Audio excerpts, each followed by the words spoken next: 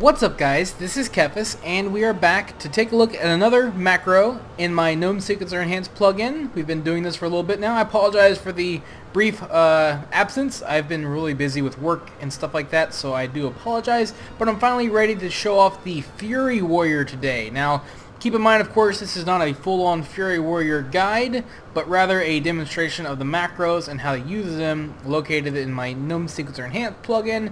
All that will be in the description below if you want to check that out. But anyways, let's get right into it. So this one is actually very, very, very straightforward, which I was really happy about. I really enjoy the Fury Warrior a lot, actually. It's really fun, really simple, really straightforward. The macros are the same. So when you type in slash GS, you will get two macros, Fury S and Fury A. One is obviously for single target, one is obviously for AoE, if you couldn't guess.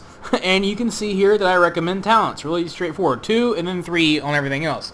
Now, this is a great example of a class and a system where even though I recommend certain talents, you can totally go with whatever the crap you want because it really doesn't matter all that much. These are just the ones that I think are fun and easy and seem to be the most effective.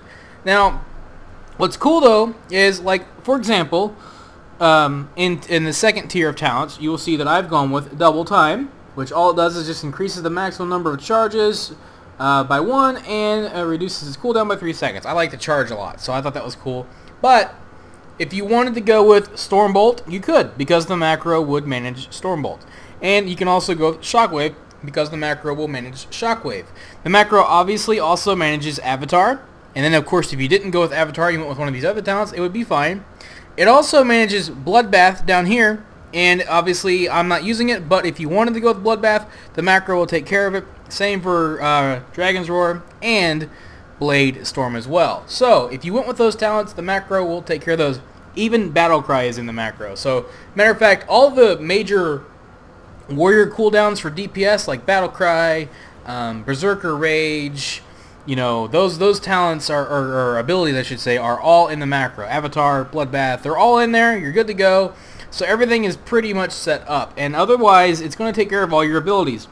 The only talent that I strongly recommend that you take is Inner Rage because it turns Raging Blow into a cooldown and that just makes Raging Blow a lot easier to use in the macro. Otherwise, it's not a big deal. You can do whatever.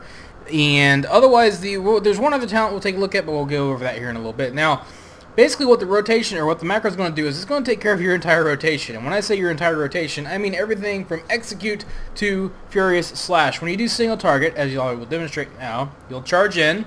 Obviously, you put charge on the saber button because that would be a disaster if we tried to put that in the macro. And as you can see, it's got all my cooldowns. Avatar is going. We use Dragon's Roar. We're using Bloodthirst. We use Raging Blow. We're using Rampage when we have enough Rage, and otherwise it's just going crazy, man. Using Furious Slash when there's absolutely nothing else to do, and it's doing pretty well. Now, my gear isn't the greatest on this character, so it's not going to be as good as maybe some of my other classes that I've shown because they're way better geared, which is what makes it kind of hard to really test a lot of these classes. Now, the Demon Invasion events are finally out, so that makes it a little bit easier to gear up, and it makes it easier for me to test these guys, but as you can see, this is really straightforward. Now, obviously, my cooldowns are, are all used up, so the DPS is going to probably drop quite a bit. Um, that's a nice burst, though, there at the beginning. And what's cool is when I use um, uh, Battle Cry and uh, Berserker Rage, they always go off at the same time uh, because they sync up like that. that. That's what makes it really effective. Uh, but otherwise, you can see it's, it's using everything on cooldown. I'm usually not capping Rage, which is good. I mean, I'm not using the talent that wants me to cap Rage. I wouldn't recommend that you did that if you're going to use this macro.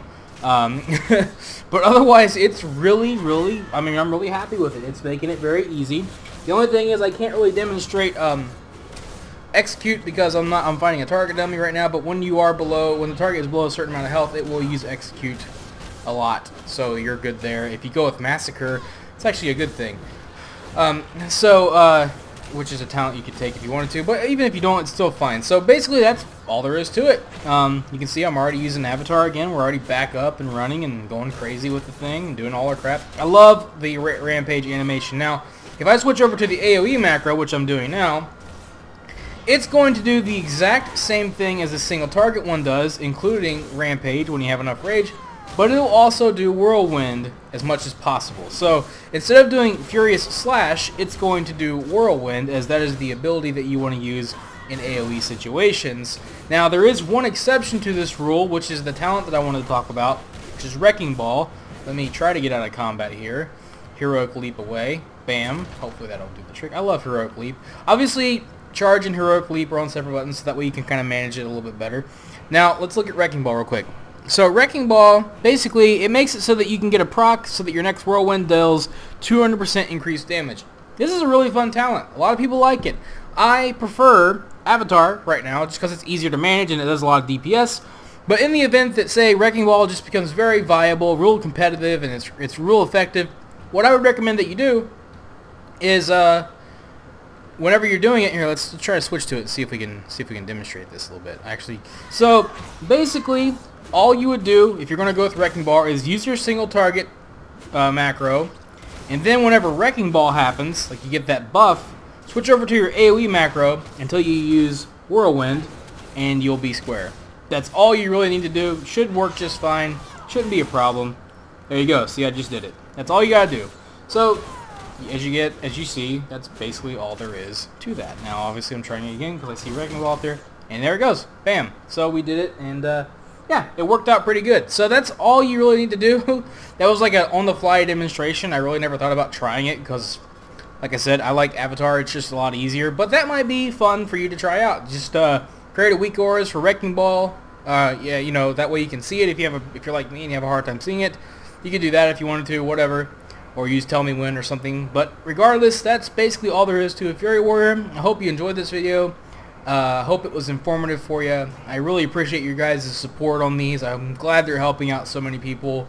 That's what it's all about, man. I mean, I've been doing this for a long time, and I just wanted to share everything, give people a little bit of an easier time in the game, because I know a lot of people, maybe you're like me, and you just have something making it hard to access all the classes and all the fun in the game. And hopefully this makes it easier for you. So, especially when you're out doing Demon Invasion events, maybe you can test these out and see how they work for you and I really appreciate the feedback. You guys are awesome. I'll try to get more of these out as soon as I can. So thank you guys for watching. Have a wonderful day. This is Kephas. Until next time.